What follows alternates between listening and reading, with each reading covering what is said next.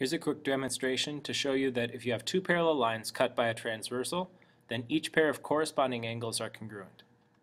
So here in GeoGebra I have two parallel lines.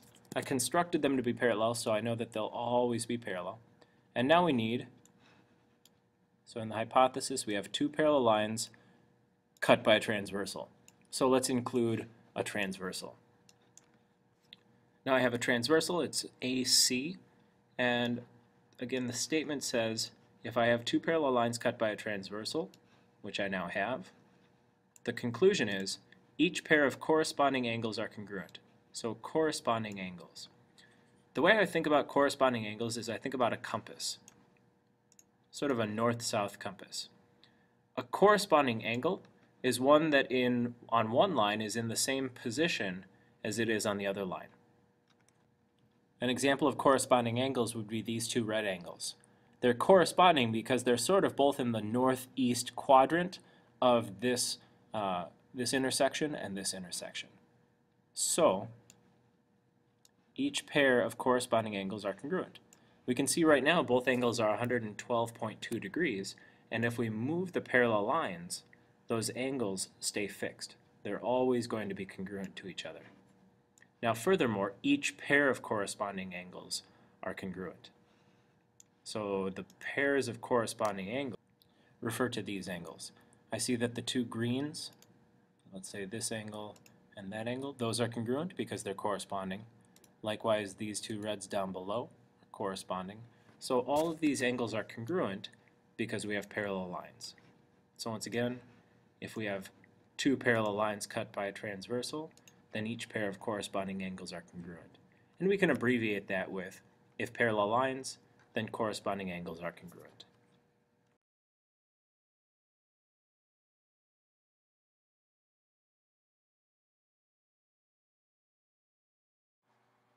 Take a minute to read this statement we're about to prove. The statement highlighted in yellow is the hypothesis of the conditional statement. The hypothesis is the given information two parallel lines cut by a transversal. The conclusion is that which we're trying to prove. We want to prove that the alternate interior angle pairs are congruent. So first, let's draw out the given information. We have two parallel lines cut by a transversal. Let's show that they're parallel and give them names. I called them lines M and N, cut by transversal T. And remember the way to show lines are parallel. Now our job is to show that each pair of alternate interior angles is congruent. If we show that one pair of alternate interior angles is congruent, then the same logic that we use to show that that pair is congruent will apply to the other pair. So let's pick a pair of alternate interior angles. Let's call them 1 and 2. So our goal is to prove that angles 1 and 2 are congruent. So in terms of given information, we're given that M and N are parallel, and our job is to prove that angles 1 and 2 are congruent. So first off, let's deal with our given information. Parallel lines. Remember, parallel lines will always deal with angles in some way. And in the previous video, we saw that parallel lines make congruent So those corresponding angles, let's call the green ones angle 3, and then angle 2 was originally named. So now we have angles 2 and 3 are congruent. So once again, because we know M and N are parallel, we can say that Angles 2 and 3 are congruent because parallel lines make corresponding congruent angles. Now, we've established that 2 and 3 are congruent. Let's take a closer look at angles 1 and 3.